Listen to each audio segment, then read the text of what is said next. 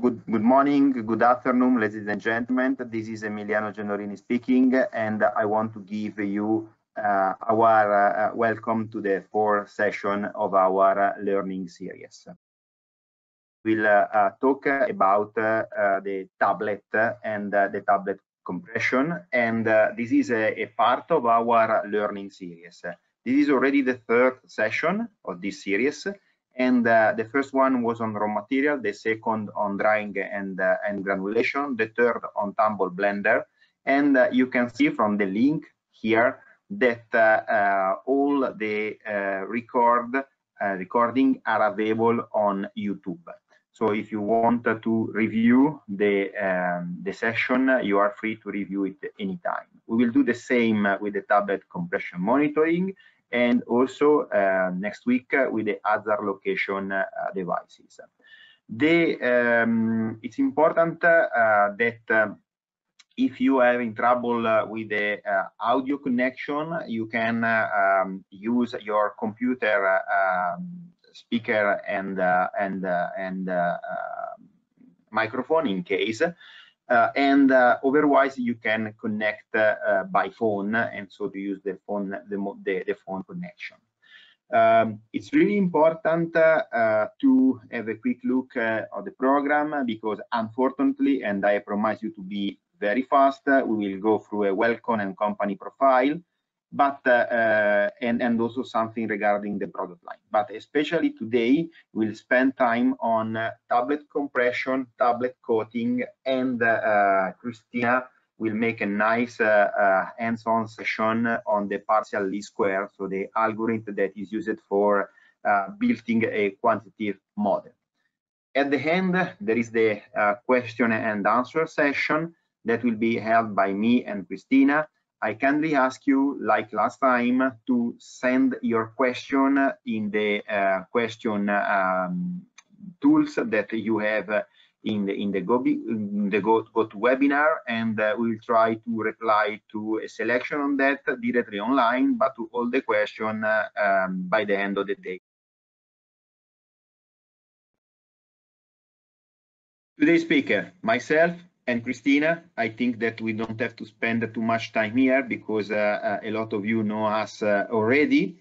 Uh, the company, again, Viavi is an American company, two big uh, business unit. One is called NSE, working on network and service enablement, and the other one, OSP, Optical Securities and Performance Product. MicroNIR is the OSP uh, business unit. This is a, a, little of history of our company. We have a long history started uh, in 1948 as Oakley up to now that we are Viavi. The OSP market segment.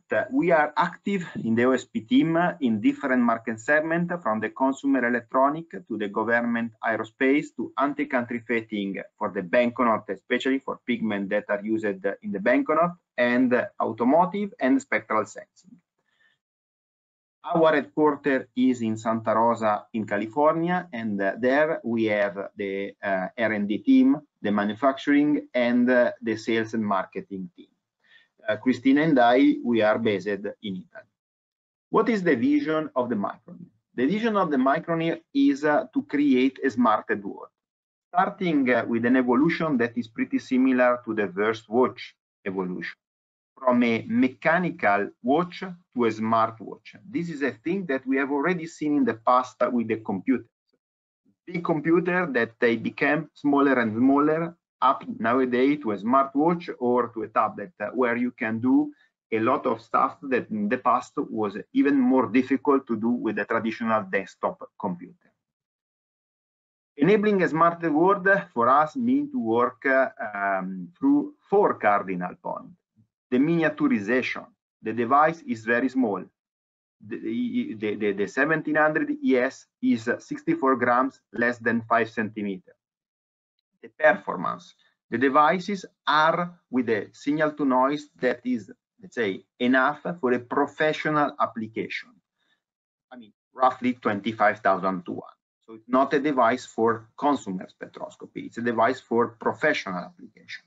the affordability, good price compared to the fit for, for, for compared to the purpose that we want to have for this device and the connectivity that can be connectivity in the cloud for handle device but for process device that are on the right hand side we have for sure connectivity through the OPC UA and DA that enable you to get a very uh, easy way to interface the NIR measurement with the uh, HMI of your um, of your production equipment. What is the technology inside? The technology is a VIAVI technology called a linear variable filter that is one-dimensional, continuously varying bandpass filter. This device is uh, very uh, compact, lightweight, and robust, but especially it doesn't have any moving part or free space optic. The original design was developed for a, a NASA uh, mission, and you can see here, uh, as you can see here. The uh, advantage of this technology is for sure that we have everything in a very small uh, and teeny device that enable us to do unique application. Last week, we spent time talking about the blending application, where for sure to have a lightweight device is a big plus compared to having a bulky device. But mm, using the LVF filter, it doesn't allow not only to have a lightweight device, but we have also some other device advantage, like the fact that we are not using any laser.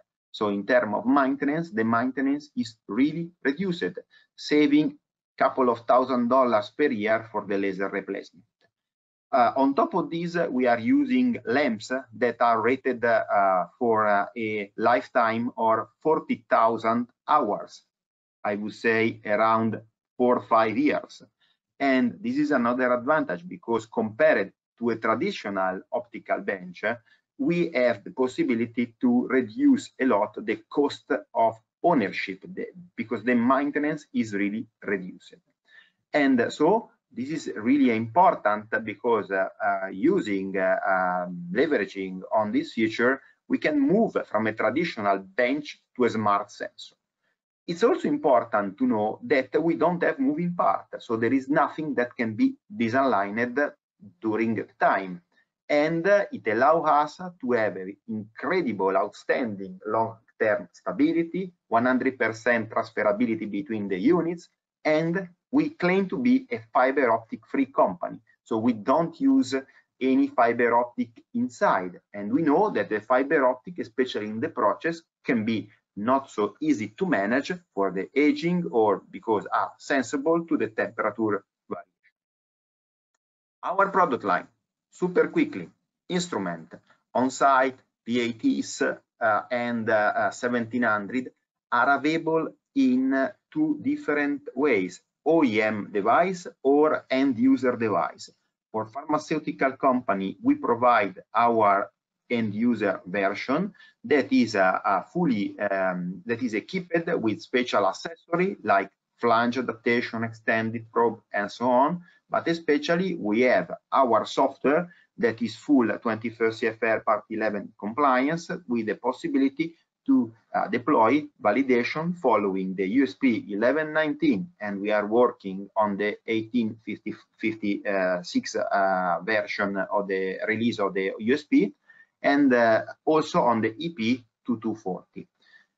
On top, we have a full chemometric package that uh, since uh, we came up with a uh, 3.1 uh, version of the software, it includes spectral match value, moving block, PCA, and also PLS that will be the topic today of our uh, practical section. Obviously, for customers that want to have more, we can use the um, you can use our software uh, using other chemometric package like Simca, Unscrambler, or Solo for developing analytical uh, method. This is our uh, baby, the 1700 ES is uh, the original MicroNIR. And here you have the on-site W on the left-hand side, and on the right-hand side, you have the PATU and the PATW. Both U and W can be good for pharmaceutical application in the process. The on-site is more for um, raw material identification. In case you need more in terms of safety, we have devices that are dedicated to the hazard location. The PATU is now is called PATUX, and the W is called WX. Process analytical technology. This is the key point. The raw material are by definition, by nature, let me say, variable. If we have a fixed process we end, we, uh, that we keep constant and validated, we will end up to have at the end tablets that are variable. The real aim of the process analytical technology is the process understanding. So we want to understand how the um, process can be, uh, let's say, impacted by variation of influenced by the variation in the raw materials. If we know how the difference in the raw material can be digested by the process, we can assure a better quality of our tablets. This is a key point that is well received. And uh, here you have uh, some statements that are important. First of all, the first one is saying you need to know how the critical attributes are influencing your process. The second statement that I really like is quality control cannot be, the quality cannot be tested into the product. It should be built into the product. that is quite different because here we are bringing up the concept of quality by design. Clearly, on the left-hand side, we have the quality by test. So the uh, approach that we are used to, or we were used to, let me say, where we just develop the process as we think that is better to, to, to make it without, uh, let's say, a real process control in line. And on the right hand side, we have the quality by design, where for sure there is a huge, bigger investment in the beginning to understand the process. And the learning phase is for sure longer than in the previous one. But afterward, on the product, if you look at uh, the life cycle of the product, it's clear that the cost, they, they are kept better under control forever. Traditional approach is another important thing to point out. The process is developed, frozen completely, and eventually validated using three commercial batches. The quality is the quality that you can only check in the laboratory, but the process is a completely black box. With the PAT approach, we are talking about real-time analysis, inline or online. The aim is process understanding, understand the influence of the critical attribute on the process in order to ensure that the uh, final outcome, the tablet in our case, are completely under control. Obviously, in this case, there is a help that is coming from the traditional statistic and also from the multivariate analysis. But the variability of the process, we don't try to keep it frozen, but we try to manage the variability. And this is an important milestone where it's possible to install a MicroNIR wherever you want in a pharmaceutical production, raw material, blend uniformity, granulation, loss on dry, and today we will discuss about compaction and So let's go immediately uh, because I promised to stay inside the 60 minutes today. Uh, last week was uh, a little bit longer than our expectation. We can split into different ways uh, to produce a tablet. One is raw material, blending, direct compression. The other one, get involved the granulation. It's clear that uh, raw material, granulation, blending, uh, uh, and compression are all phases where, let's say, we can have a variability. The variability, if it's not, uh, let's say, understood, it could create, let's say, some variation at the end of the process.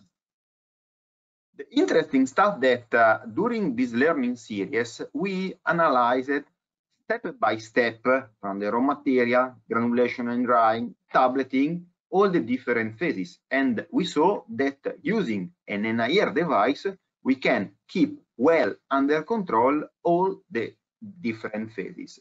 But uh, let's assume that now we go uh, to the tableting machine, we produce tablet, and once we have a couple of million of tablets, we find that there is a problem. And this problem is normally found only when the tablet is analyzed in the laboratory. This is for sure something that we want to avoid as more as possible. So our idea is to find a way to monitor directly online the compressing phase. This phase, uh, the tablet critical attribute are basically the particle size, the moisture, the density, and the morphology. Depending on that, if we want to describe the, uh, let's say, perfect uh, recipe is free flowing, so the product uh, move each other uh, in a proper way. They have to be, uh, let's say, in a narrow and homogeneous range of particle size, because this is really the key point to avoid segregation, let's say, or the mixing. They have to be enough uh, they, they have to have a, a, good cohesion between the different particles, but they don't have to stick too much in the table press. The reason for the uh, inhomogeneity, they can come segregation in blending, the missing in blending, or also in the transfer phase, bad storage. I mean, you mix up your product, you leave in the tumble blender your powder, and uh, maybe you leave it there for uh, two, three, four, uh, even one night, hour, even one night, it come up that the following day, when you do the tablets, you find out that your product is uh, not homogeneous. So it's really important to try to do what is uh, shown here. Uh, this is, uh, and I uh, want to, to, to, make a special thanks to, uh, to Dima for, uh, for this test is a, a, tablet press where we installed on the same machine two uh. One is installed at the loading chute and the other one is at the feed frame. This is a fantastic application for the MicroNIR because uh, the, having a very small and thin device, you can attach two devices maybe 20 centimeter far each other that is something uh, very uh, interesting. And uh, here it's a little chicken and egg because it's better to use the feed frame or it's better to go to the loading chute. Is a quite complex decision to take.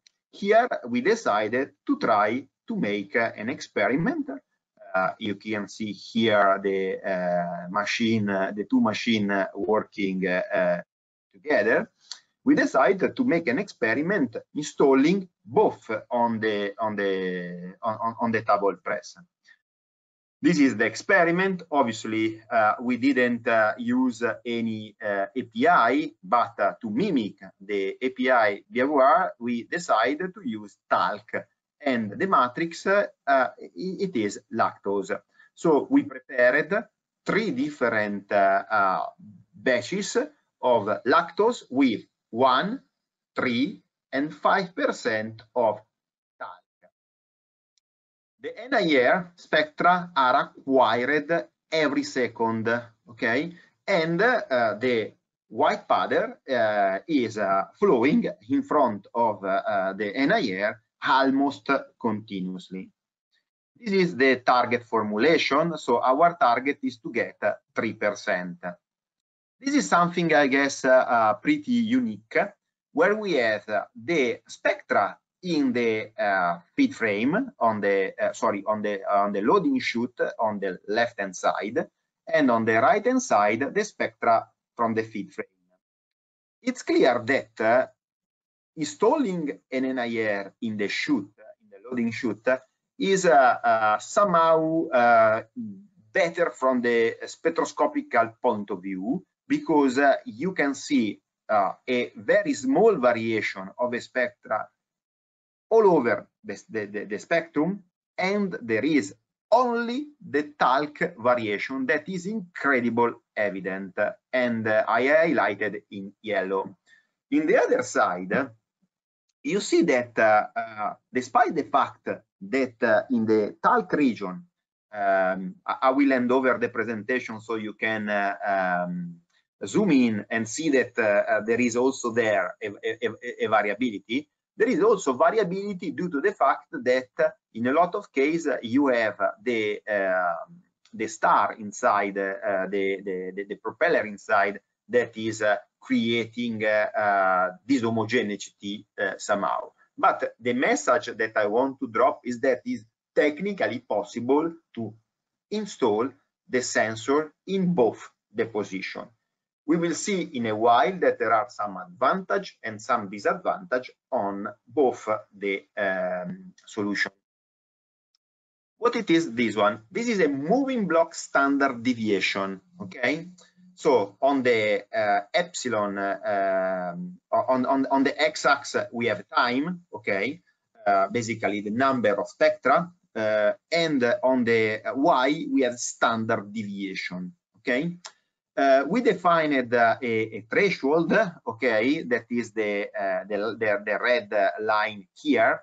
And it's interesting to see that uh, when we start, uh, there was uh, a variation that uh, goes above the threshold and was probably due to the fact that we loaded 1%, 3%, 5%, and we stashed the, the, the product for a while before starting the compression. Afterward, so there was a sort of, uh, um, how can I say, mixing between the three concentration or the two concentration. Um, once uh, we are feeding uh, with the 1%, uh, the standard deviation is low and is in, within the limit. When it start uh, to feed uh, with the talc 3%, boom, it goes up. When it's only 3%, is again stable. When uh, the NIR is measuring 5%, it goes up again. And afterward, when it's only 5%, it goes down. This is very important because we can keep under control the process very well. Normally, and Christina, she's uh, really keen on this, uh, uh, fewer is the best. But here I want to uh, show you a couple of ways to display the same data set. This is not the moving block standard deviation, but is the moving block mean, so the average of our spectra uh, of, of our area of our spectra, let's say in a more proper way, you see that uh, there is the region of 1% uh, that is on top, the region of 3% here, and the region of 5% that is uh, down on, on, on, the lower side of the graph. It's clear that uh, uh, if the moving block goes to zero when there is no variation, here is going not to zero, but to a constant value that can be higher, lower, or, or, or, in, the, or in the middle. No? And uh, uh, we can easily create a control chart and we can easily define when where our product uh, is uh, within the specification and where is not in the specification and we can uh, have an alarm in this case. This is uh, uh, the similar uh, stuff done using a PC1 versus PC2 score. Again, you really see very well from the left to the right, talc, transition, uh, talc 3%, or talc 1%, transition 1, 3, talc 3%, transition 3, 5, talc 5% we can express the same variability using the PC1 versus the time.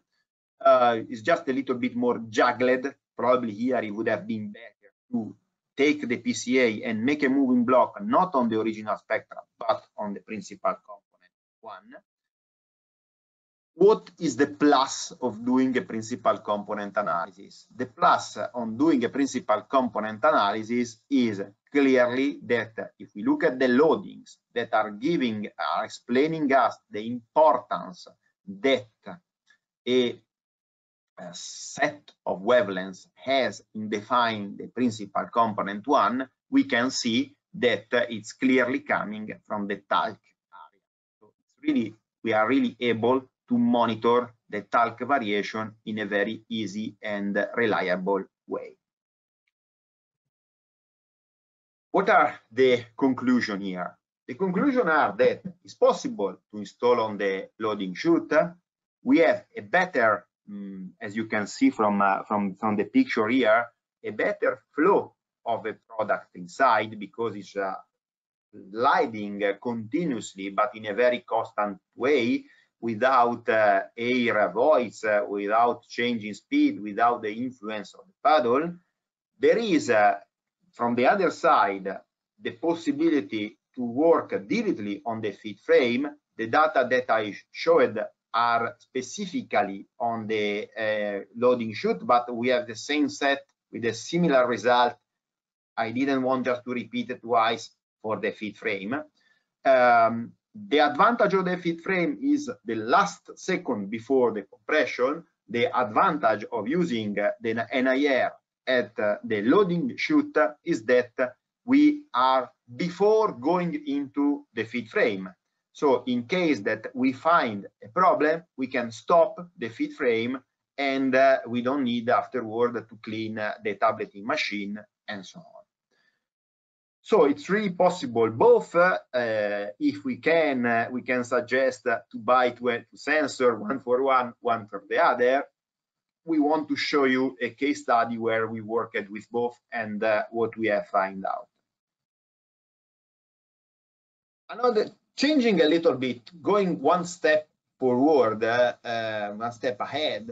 Uh, we can um, we want to show you uh, this experiment that has been done, uh, uh, and uh, I want to thank you, uh, Freund-Vector, for, uh, for, for, for, for, the, for the help on coating process monitoring. the coating is a critical step and give the right taste, the right color to the tablet, and so on. And to keep under control this process is important.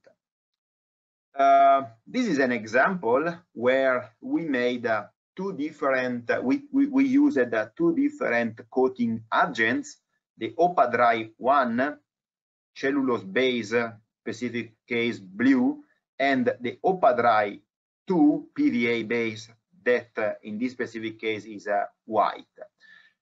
we try to have one cellulose and one PVA just to have two different kind of coatings and per each um, coating we run we ran four batches okay in order to have something uh, interesting from the scientific point of view. In order to avoid uh, all the um, how can i say uh, reproducibility and to improve the reproducibility and to keep uh, constant the process we decided to keep constant the flow rate the inlet air temperature uh, in and, and, and, and the product temperature was almost uh, constant. So we kept all the process parameter as more uh, as possible constant. This is how we installed the MicroNIR. The MicroNIR was installed uh, close to the spray gun or directly on the spray gun. It was uh, installed using a um, extended probe in this specific case. The tip of the extended probe is in direct contact with tablet. The device has a special jacket where we can, uh, um, let's say, um, uh, cool the device uh, with water. This is necessary because the temperature is uh, uh, inside the uh, coating um, pen quite high, could be even 80 degrees. This is a, a video that is uh, showing you how the measurements were uh, performed. And uh, uh here you have uh, the result, uh, result that are in this specific case for weight gain. So we measured 30 tablet at different time that we take out, that we took out from, from the pan and uh, we uh, took uh, the spectrum or NIR spectrum at the time that we took the sample and we built a calibration for the Opadry 1 and for the Opadry 2. Same thing has been done with a coating thickness. Uh, and uh, uh, in this case, we use a micrometer to, to, to, measure. And here you can see that the correlation between the theoretical value and the predicted value are really, really, really uh, similar. We also made a validation, and uh, here you have uh, um, on another batch the weight uh, variation over the time and you have in green the NIR measurement and in blue actually is in purple sorry the primary method okay? So the the, the balance on 30 tablets. And you can see that the two series of data are almost the same. So uh, with the NIR we can easily follow the um, increase of weight and also the increase of thickness as is uh, shown uh, in this uh, slide. This is a whole uh, from my uh, side. Um, I leave the stage uh, to Christina. Yes, I'm show. Okay. Screen now. I'm sharing the screen. Yes. Can you see my screen? Yeah. Okay, perfect. So, of course, you already know why I'm here. Uh, just to summarize for the one of you that have never participated here to the seminar, uh, the, uh, my activity is mainly based of extract information from the NIR signal. So I'm a chemometrician, basically. Uh, and I work with Viavi thanks, thanks to collaboration with my university, that is the University of Genova in Italy. So what we have to do uh, today is to work directly on the MicroNIR Pro software to understand how to develop all the uh, models and the graph that Emiliano showed in the presentation. So the version of the software is the MicroNIR Pro software 3.1, and we will see together an advanced functionality today that is the batch prediction functionality. And you will see the advantage of having this batch prediction inside the software. Uh, but first of all, let's focus on the case study. Uh, so I'm focusing on the coating monitoring, so the last part of Emiliano's presentation.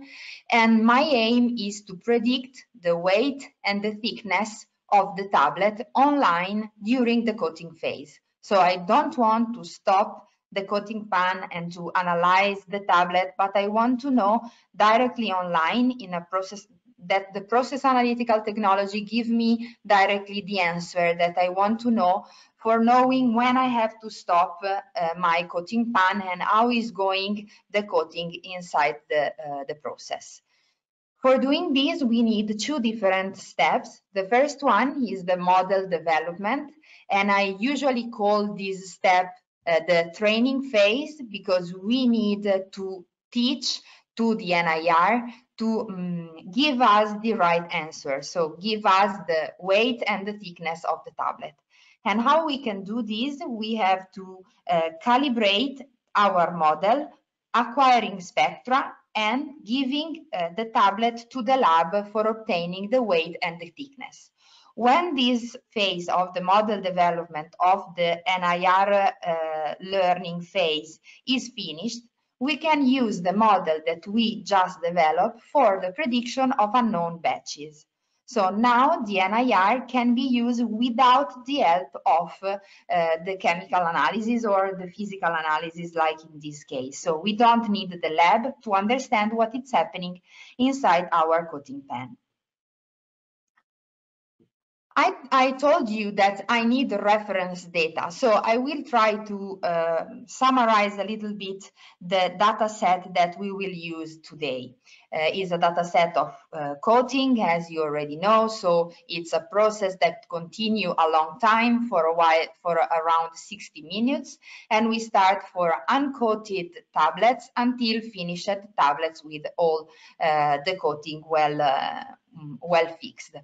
Okay, and during this process, we acquired one spectrum every 10 seconds. So a really, really big amount of data. We are speaking around uh, 360 uh, spectra during the coating process, but we don't have the possibility to stop the coating pan, uh, pen every 10 seconds to understand what is happening. So a smaller amount of uh, samples, so a smaller uh, uh, aliquots of uh, tablets were used for understanding in the lab what's what was happening in uh, in the process.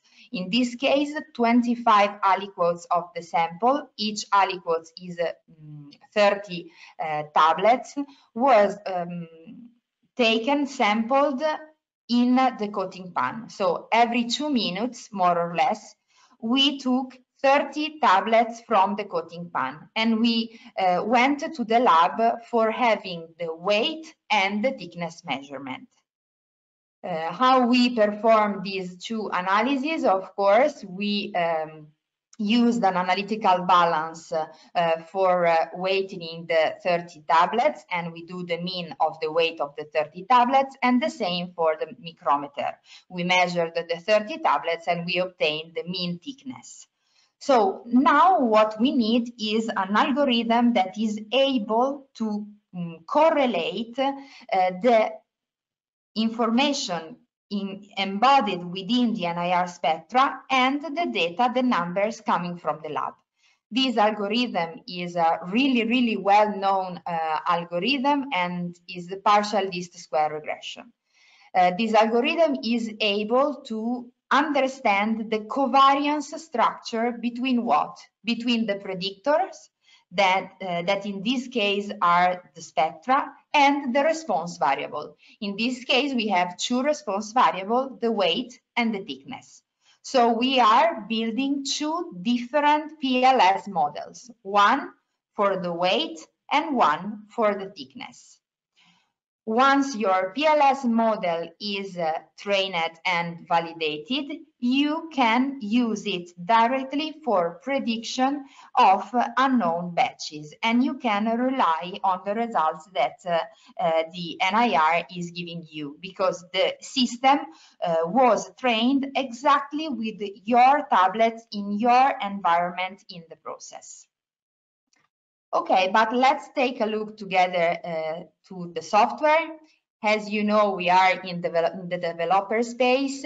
Here you can find the data analysis panel and I told you that I want to do PLS, so I'm clicking on partial least square regression. Remember that you have to click on new for starting a new project. So this is a PLS for coating and I have to retrieve my data. So I click with the mouse on, uh, with the right button of the mouse and I create a calibration set that includes the calibration of the coating. So these are the spectra of the 25 uh, aliquots that I also analyzed in the lab. So I know that this first sample correspond to the first moment in which I sampled the tablet for the lab. Then I wait 12 spectra for taking other uh, 30 tablets. And then at spectra 23, I take other 30 tablets. So you can see that the spectra are not consecutive because they are just the 25 uh, that has a that have a correspondence in the lab measurement. So I um, retrieve all my spectra and now I have to add, right click of the mouse, the reference data. Here I have an Excel file in which I have the weight and the thickness value that comes from the lab. And I have to create inside the MicroNIR the two variables. So the first variable name is weight and is expressed in here you can see that I have the unit, so it is milligrams, and I add the variable. And I also have the thickness, and I need to copy from here because I don't have the right letter into my keyboard. So I will use the copy paste and I add the variable weight and thickness. So now I can copy the two columns, Control C. I come here, I verify that I have, I'm in the first uh, row and I copy all the value. So remember, these are the value from the lab. These are the corresponding spectra. Now I can apply some data pretreatment to the spectra and I can compute my model. How much component we want to uh, use? Just five. Okay, I already evaluated this uh, uh, panel of the model, so trust me that this model work properly with two factors. So this is our uh, result of the PLS algorithm. We will focus on these two graph here, the scores and the predicted versus reference. So Let's start from the scores. Every point here is uh, one spectrum and if I color the sequence with the 25 different colors, so one for each uh, spectrum, you can see that I have a, a, really evident profile of my process in the scores. Uh, this evident profile is resumed here in the predicted versus reference uh, um, graph. This is a really uh, crucial graph for understanding PLS because here I have the reference value. It means the number that were obtained in the lab. And here I have the predicted value that are the one that were predicted by the MicroNIR. If here I add the target line, that is the bisector of this uh, space, you can see that my points are exactly lying uh, along this line. And this is for the weight because I already told you one model for each variable. So this is the model for weight. But I can also ask for the model of thickness and you can see, yes, the dots are a little bit more dispersed, but still really, really nice distribution along the bisector. So I'm happy with this, uh, with this model and I can save it. PLS coating, save. Okay, great.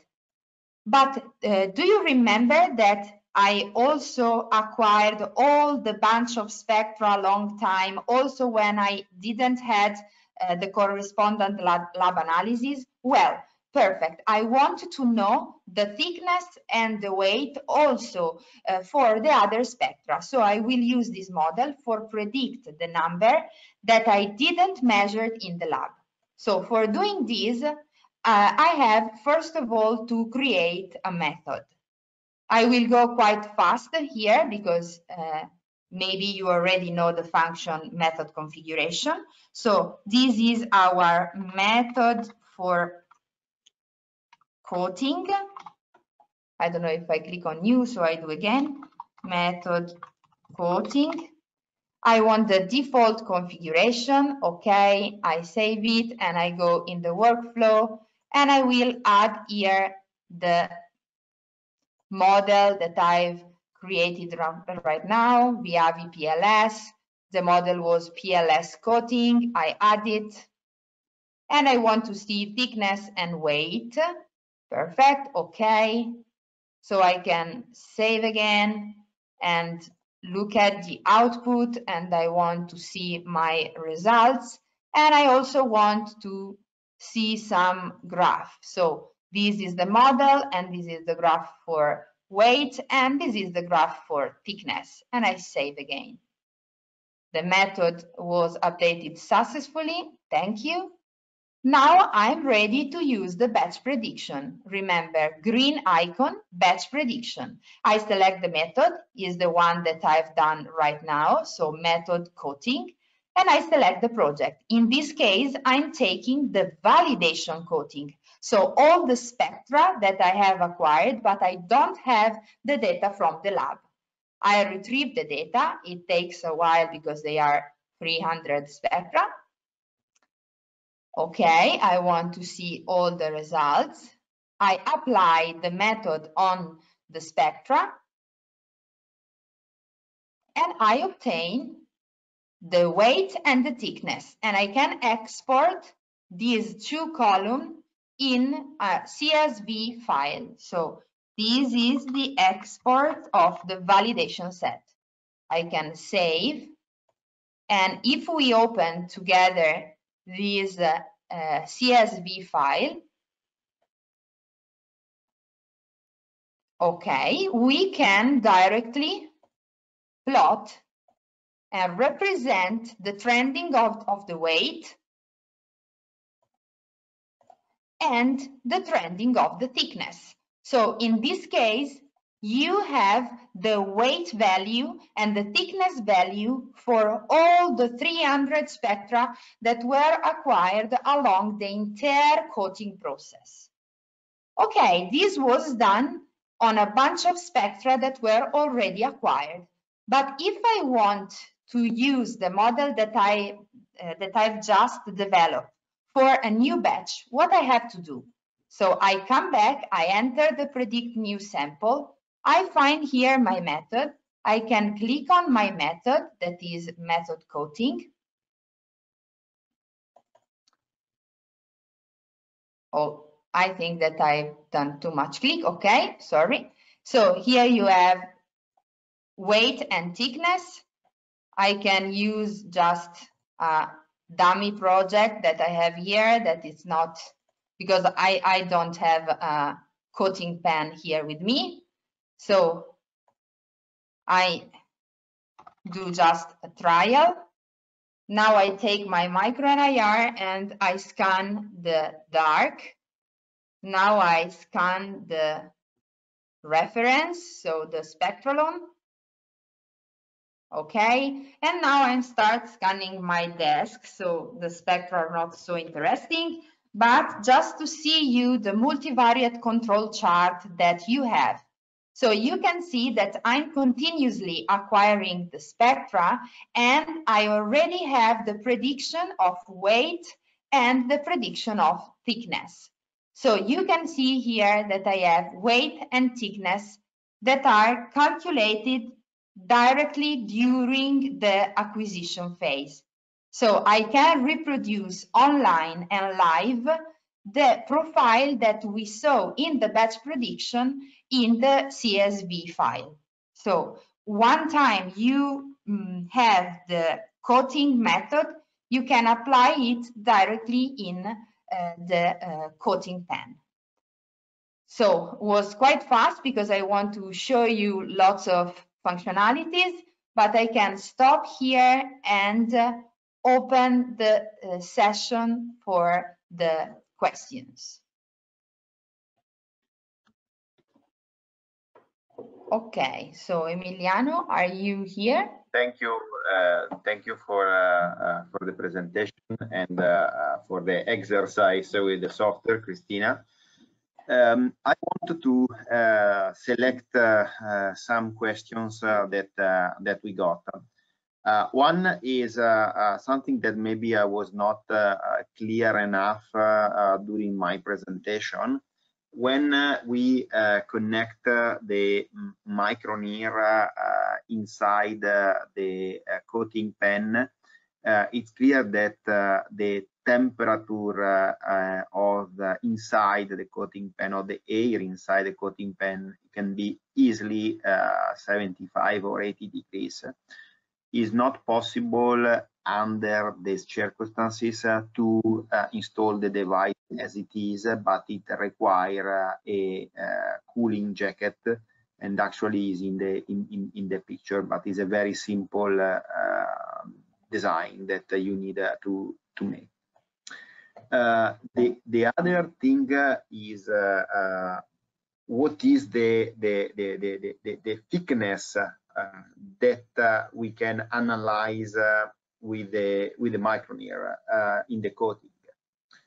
I don't know, Christina, do you want to take it or? No, go ahead. If I have to add something, I will add then.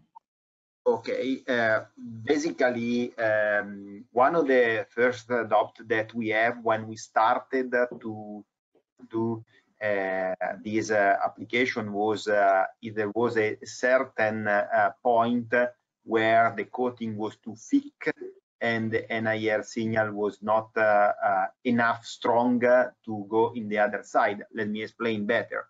When you have a coating, you have basically coating and the nut of the tablet in the other side. And basically, uh, important that uh, the NIR beam is going completely through the coating and is uh, keep on reading the nut in the other side. No, and uh, actually, uh, I think that uh, uh we can arrive uh, to uh, probably easily 400 micron without problem. Obviously, depend a lot from the material that you are using from the coating agent.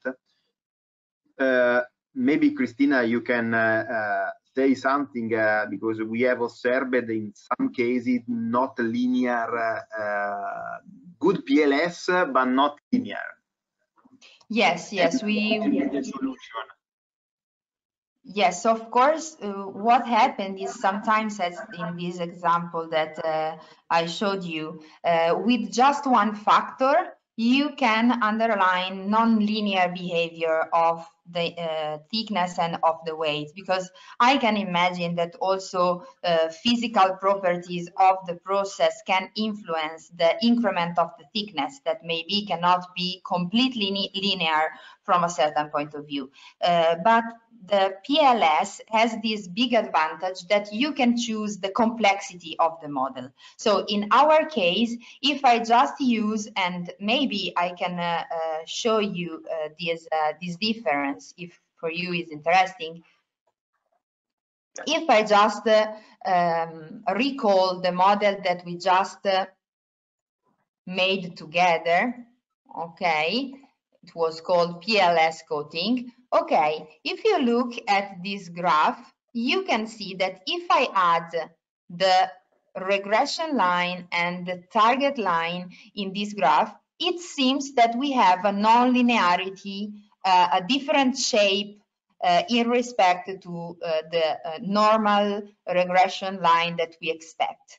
But you can see here that maybe with one factor, I'm explaining a bunch of variability because I'm around the 90%. But maybe it's not enough to understand the whole process. So if I just add uh, one factor more to the system, you can see that I'm solving this problem of non-linearity. Um, and I can imagine that this problem of non-linearity will increase the higher the thickness of uh, of the tablet.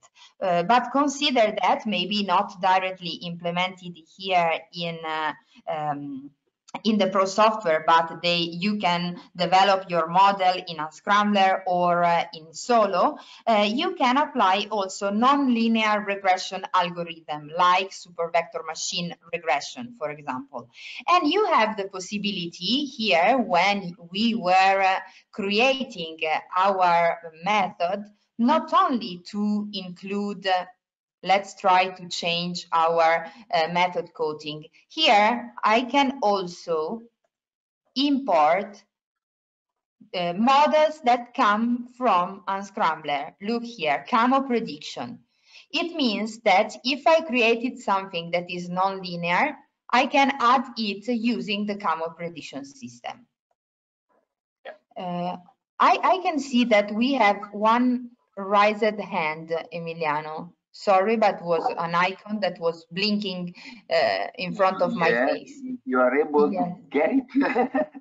so I, I will try to pronounce the name Xiaoling Li.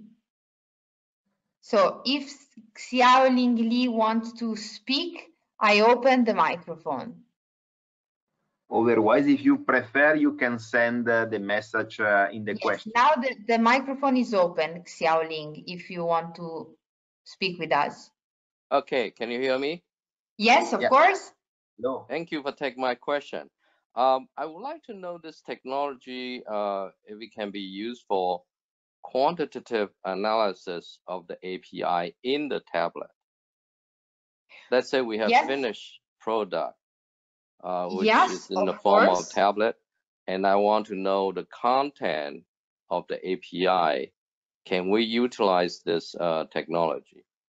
Yes, yes, of course you can. Uh, if you are at the end of uh, your process and you want to check if the API content is right, uh, you can uh, use, uh, of course, the MicroNIR. Um, if you are around, I don't know, what is the percentage of your API inside uh, the tablet, more or less?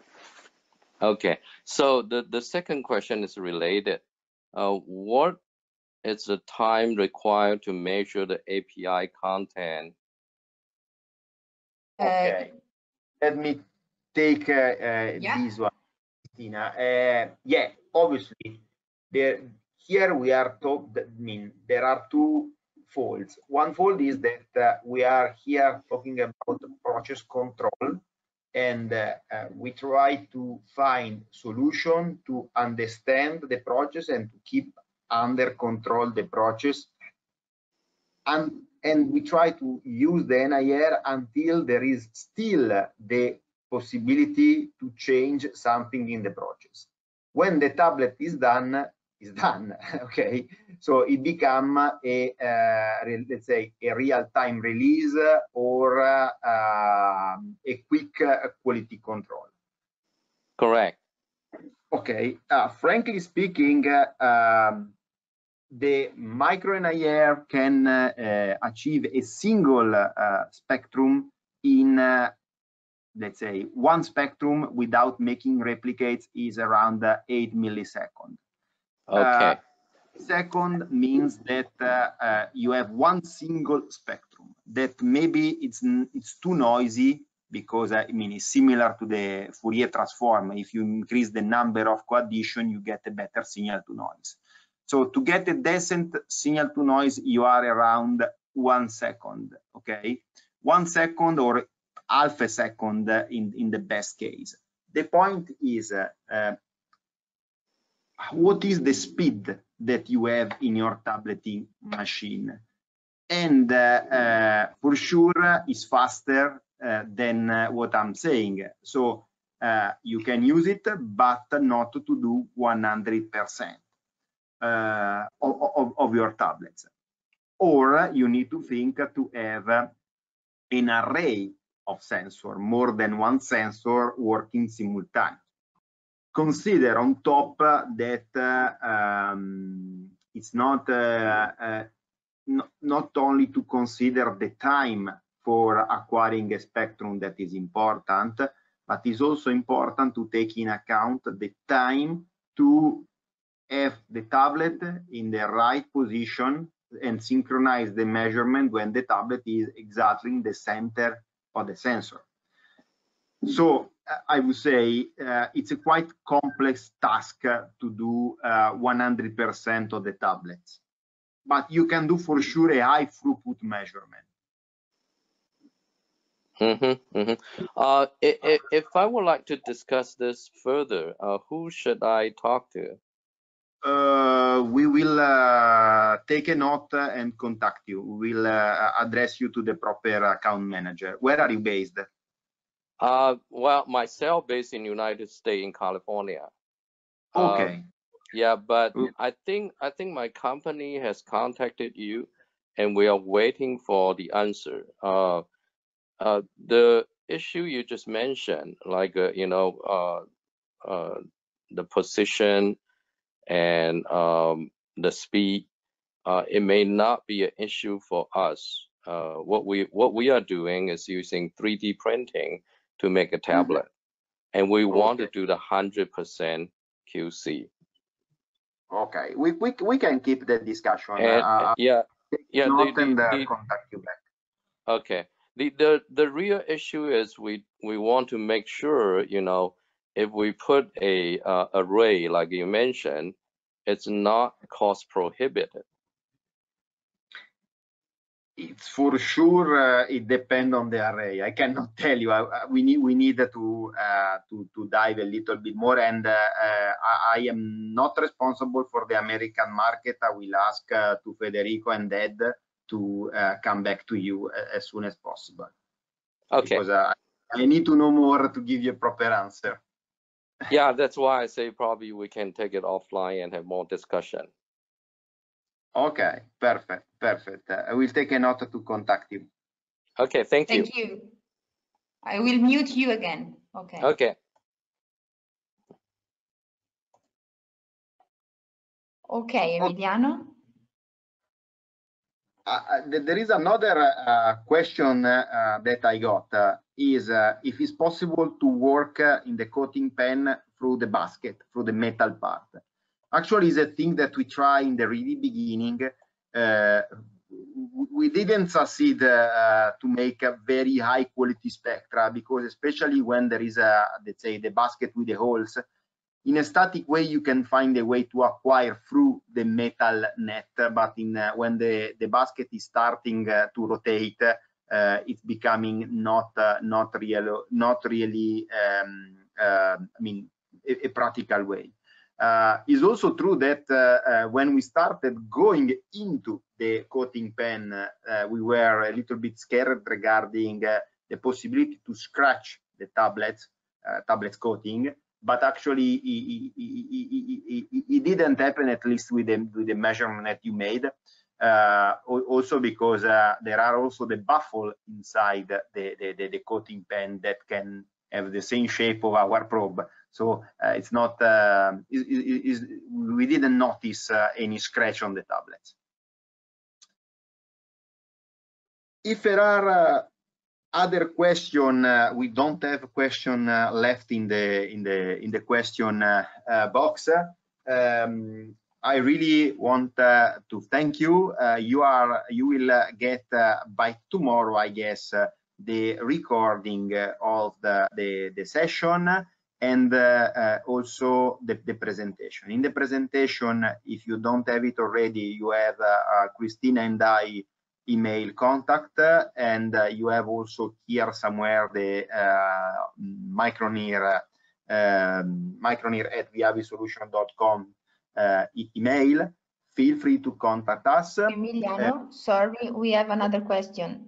Okay two two other questions uh, do, do you prefer to answer offline yeah yeah, we okay, will answer. So sorry, guys, it's quite quite late. We will answer offline. Okay, thank you. See you bye next bye. week. Bye bye. Bye bye. bye, -bye.